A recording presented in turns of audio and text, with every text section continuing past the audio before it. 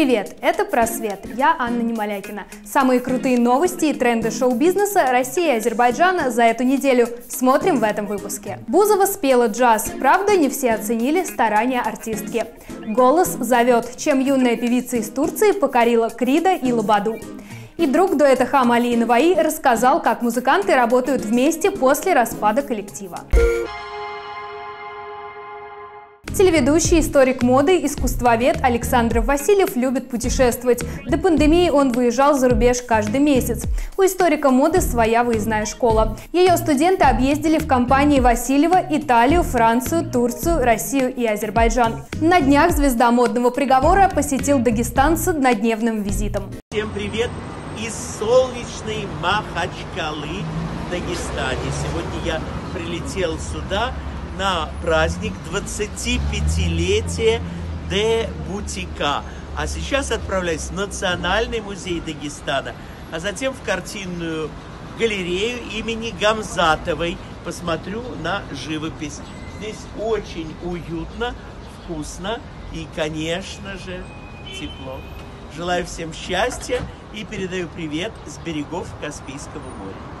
Что удалось посмотреть в солнечной столице Дагестана искусствоведу Васильеву за один день и какую страну он планирует посетить в ближайшее время, историк моды рассказал нашему порталу «Москва-Баку». Также он поделился своими планами на Азербайджан. Начнутся регулярные рейсы, я возобновлю мою работу в центре Гейдара Алиева, где я делал уже две великолепные блестящие выставки. Но, к сожалению, вот э, сначала э, военная ситуация, которая была вызвана Нагорным Карабахом, воздухом, затем э, отмена рейсов, коронавирус не позволяли мне делать все так, как мы планировали раньше с центром Гейдара Алиева. Я надеюсь, что все это будет когда-то пере, преодолено, и я начну опять сотрудничать так же активно с Баку, как раньше. Но я надеюсь, что скоро ситуация будет проще, я могу путешествовать и не только в Дагестан, но и в Баку.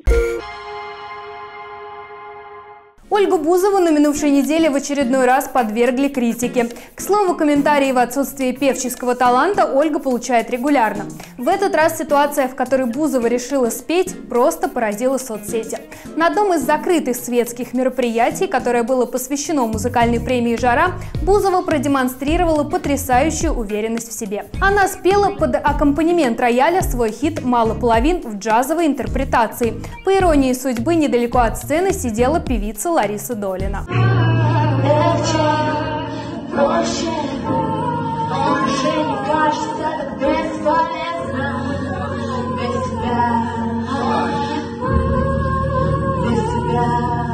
Публика следила за реакцией джазовой певицы, но она, по сути, никак не отреагировала на импровизацию Бузовой. Как отмечают в соцсетях, повела себя Долина достойно, хотя постоянно смотрела в телефон. Однако в сети не все были так благосклонно настроены к джазовым импровизациям Ольги. Многие упрекнули Бузову в отсутствии таланта и слуха и закидали видео нелестными комментариями. Однако, по словам хейтеров, у Бузовой не отнять потрясающую уверенность в себе. Нашумевшее телевизионное шоу «Ты супер» запускает отдельный конкурс для талантливых людей старше 60 лет. Новый проект называется «Ты супер 60+.» На одной сцене выступят таланты из разных уголков России и других стран СНГ, в частности, из Азербайджана, Беларуси, а также стран Балтии.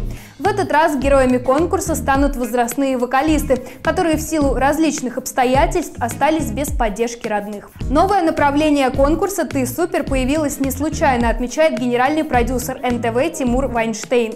Шоу стало целым движением и родной семьей для 385 детей из 18 стран, сказал он. Нам очень хочется помочь пожилым людям, оставшимся без поддержки, реализовать свой творческий потенциал и осуществить свою мечту. По словам продюсера, также конкурс поможет вокалистам вновь встретиться с родными. К слову, кастинг уже завершен. Самому молодому участнику проекта исполнилось 60 лет, а самому старшему 87. Некоторые конкурсанты являются профессиональными музыкантами. Например, в первый сезон нового шоу прошли выпускник консерватории и артист Мариинского театра. Однако большинство участников – люди, не связанные с музыкой – врачи, химики и домохозяйки. Ведущими конкурса по традиции станут Вадим Токменев и Анастасия Пак, а имена членов жюри продюсеры пока держат в секрете. Что касается правил, то они остаются такими же, как и в конкурсе для детей. Конкурс пройдет в два этапа – отборочный тур и финал. Шоу стартует на НТВ уже в середине апреля. А сейчас коротко расскажем об интересных событиях, которые также произошли на этой неделе. Кстати, ставь лайк этому видео и подписывайся на наш канал, если еще не подписан, чтобы не пропускать новые выпуски. Элтон Джон, Вилли Токарев, Сергей Жуков, Михаил Шафутинский. В этих образах звезд на сцене шоу Первого канала точь-в-точь точь перевоплощался певец и композитор Доминик Джокер. И по мнению жюри, очень достоверно. В интервью «Москва-Баку» Доминик Джокер рассказал, какой из образов шоу был сложным для него и какое новое направление в творчестве он освоил во время пандемии. А также он рассказал, какие семейные традиции сохраняют в его семье и как он воспринял новость о том, что фестиваль «Жара» пройдет в этом году не в Баку. Полное интервью Доминика читайте на нашем портале, ссылка в описании. 13-летняя Ялка Исака из Турции удивила звездных наставников на слепых прослушиваниях песни Уитни Хьюстон «I Have Nothing» российского шоу «Голос дети». Кстати, юная артистка уже пыталась покорять шоу «Голос» только в Турции, но приехала именно в Россию, так как заявила, что обожает творчество Светланы Лободы. Ялкы родилась в 2007 году в Турции. Ее папа турок, капитан морского судна, а мама русская домохозяйка. Ее имя в переводе с турецкого означает «свет в море». Ялкы учится в турецкой школе, но при этом признается, что русский язык ей ближе, и она знает его значительно лучше, чем турецкий. Летом она часто приезжает в Россию, где живут мамины родственники. Популярный рэп-дуэт Хамали и Наваи сдержали свое обещание и выпустили свой прощальный альбом под меланхоличным названием «Когда хорошему человеку плохо». В альбоме семь композиций, среди которых есть песни «Друг» или «Враг», «Нет твоей вины» и другие. Я тебе друг или враг, и может был я не прав Но как могла уйти ты свои чувства убрав Напомним, что парни объявили о своем распаде в середине февраля. Александр Алиев и Наваи Бакиров рассказали, что теперь каждый из них отдельная музыкальная единица. Слухи о разладе в группе ходили давно, и поклонники подозревали, что скоро парни уйдут в сольное плавание. Однако Алиев и Бакиров анонсировали новый альбом, а также тур по городам. Близкий друг ребят, а также участник того же лейбла, где записываются Хам Али и Наваи, рэпер Элай, в интервью «Москва-Баку» рассказал, что на самом деле происходит в дуэте и почему его участники разбежались. Они, ну как и объявили, я вам не скажу ни больше, ни меньше. вот, они объявили о том, что распались, но альбом выйдет, и на основе этого альбома они, конечно, будут гастролировать вместе, но как, как и объявили, как группа уже не будет. Ну, то есть э, пока они вместе, пока фанаты хотят их видеть вместе, они все-таки сколько-то концертов э, дадут, да? Ну как бы, а зачем тогда альбом делать? Чтобы потом уйти в тур этим альбомом, чтобы те, кто полюбит их песни, а их полюбят по-любому, чтобы послушать эти песни их вместе, потому что по отдельности, как все-таки, вот у меня отдельно есть Наваи песня, но все-таки, да, когда они в группах, а Наваи, мы все привыкли их петь такими, поэтому я думаю, что это они еще повыступают, но песни совместные после этого альбома. Будет ли, я не знаю. А что будет завтра, послезавтра, я не знаю. Но это мои братья, мы на одном лейбле, я им желаю только самого наилучшего. И какой они сделают выбор, я этого выбора и, и буду придерживаться. Один из самых запомнившихся зрителям участников шоу «Голос» грузин Торники Квитатяне рассказал, как складывается его карьера после участия в шоу.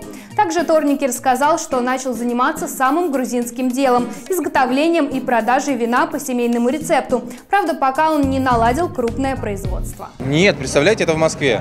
Ну, я тут живу в доме, купил виноград, бочку, как челентану, все это раздробил, и получилось вино наверное, по старинному семейному рецепту какому-то грузинскому или вы сами а, По рецепту моего там брата, моего дяди, в общем, рецепта э, моего дедушки. И, в общем, ну, конечно, но это, я не могу сказать, что я пьющий там человек. Иногда, конечно, я могу себе это позволить, но я это сделал больше в подарок. Я очень много бутылок уже раздарил. На сегодня это все. Еще больше событий шоу-бизнеса на нашем YouTube-канале «Москва-Баку», а также на сайте. Адрес на экране. Будем на связи.